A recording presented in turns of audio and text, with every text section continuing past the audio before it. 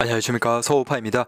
자 이번에는 KBS 홍화경 기자님의 어, 보도에 약간 반박이 있어서 영상을 찍어 봅니다. 저분이 제발 보셨으면 좋겠네요.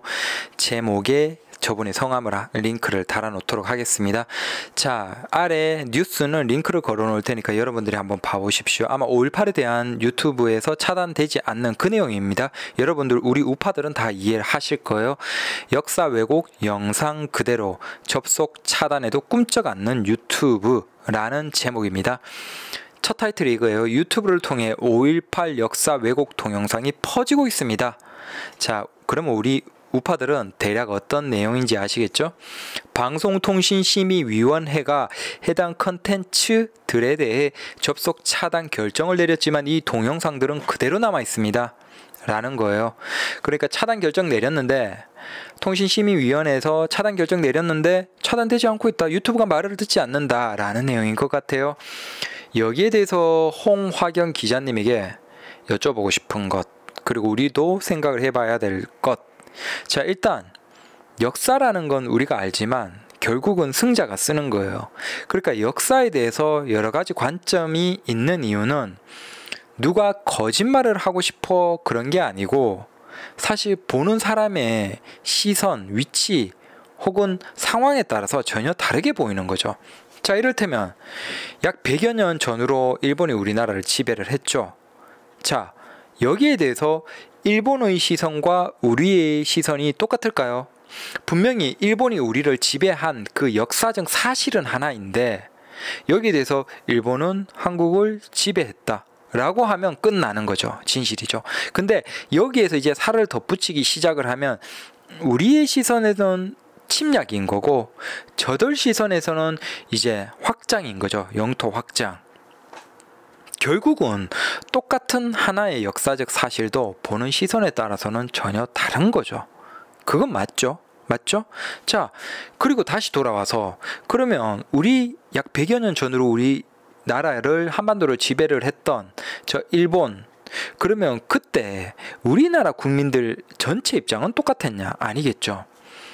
우리나라 국민들 입장에서도 좀 집에 여유 있게 잘 살고 좀 권력이 있던 그런 계층과 많이 못 살고 오늘 내일 하는 사실 삶이 큰 의미가 없는 머슴의 삶, 삶을 살던 그런 사람들 뭐 그때 뭐 사실 노비까지라고 할 수는 없었지만 머슴이라는 형태로는 1950년대 전후까지도 우리나라에는 존재를 했죠. 그러니까 사실 그런 분들은 삶이 그냥 살아있는 것 자체가 의미 있는 그런 분들이죠. 여기에서 뭔가를 발전을 하고 뭔가를 많은 것들을 모으고 뭐 그런 걸 꿈꾸는 분들은 거의 아니죠. 자, 그런 사람들의 사, 시선과 잘 사는 사람들의 시선이 과연 똑같았을까? 일본이 지배했던 그때가. 못 사는 사람들 입장에서는 아 우리가 이제 해방되네 아니 우리가 주인님과 똑같다고 우리가 저 양반님들과 똑같다고 라고 했지 않을까요 그랬을 거예요 자 역사는 분명한 건 보는 사람에 따라서 다르다는 거예요 그래서 보고 싶어 하는 사람들마다 다르게 볼 수 있다는 거고 결, 그래서 겨, 결국 역사는 승자가 쓴 걸로 그냥 끝내버린다는 거예요. 쓰고 싶은 승자가 쓰는 걸로 그냥 마무리가 되어버리고 나중에 후대는 그 승자, 승자가 기록한 그걸로 알고 있다는 거죠. 여튼 다시 돌아와서 5.18에 대해서 우리가 한번 얘기를 해볼게. 이미 전두환, 노태우 그 시점에 5.18에 대한 평가는 있었죠. 하지만 그게 어떻게 변했죠? 자, 그 이후에 역사를 바로 잡는다는 차원에서 변했죠. 자, 봐보세요.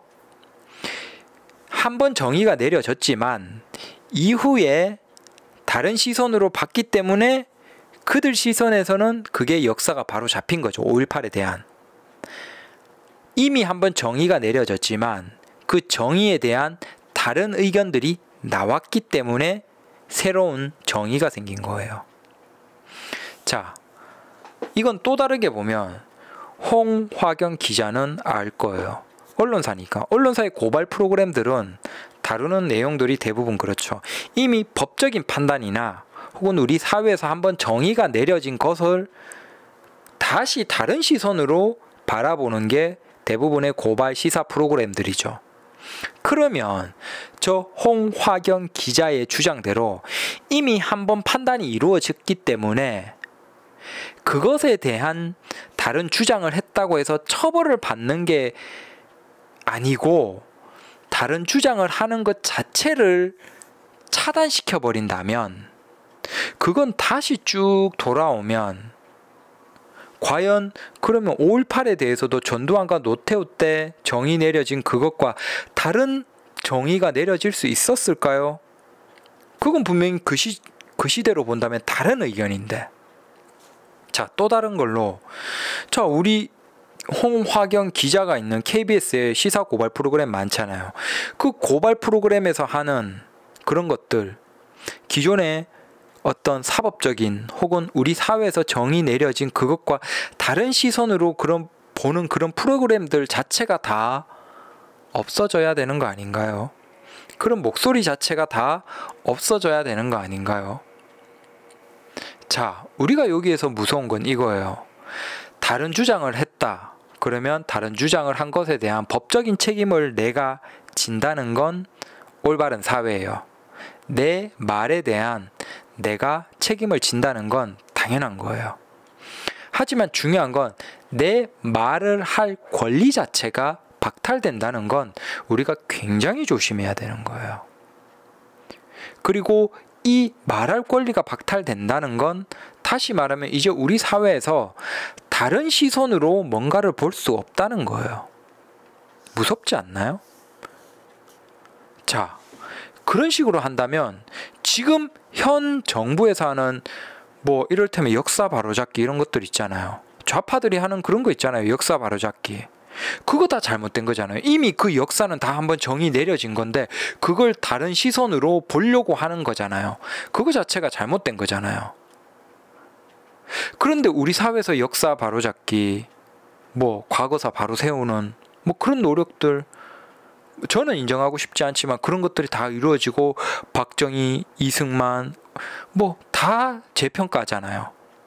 그들 말로는 재평가라는 단어로 긍정적으로 포장을 해서 다시 평가를 하잖아요. 다른 시선으로. 그런 것들은 다 이승만, 박정희 뭐 이런 것들은 다 다시 재평가를 하면서 역사 바로잡기를 하겠다라고 하면서 이미 내려진 역사적 정의에 대해서 다 다른 시선으로 들여다보면서 시사 고발 프로그램 하면서 다 사법적인 혹은 우리 사회에서 이미 정의가 내려진 그걸 다 다른 시선으로 들여다보면서 왜 5.18에 대한 다른 시선은 존중받지 못하는 걸까요? 오히려 저는 이런 태도가 계속 사람들의 머리에 의구심을 남게 한다라고 생각이 됩니다. KBS의 홍화경 기자님이 잘못 생각하신 것 같아요. 감사합니다.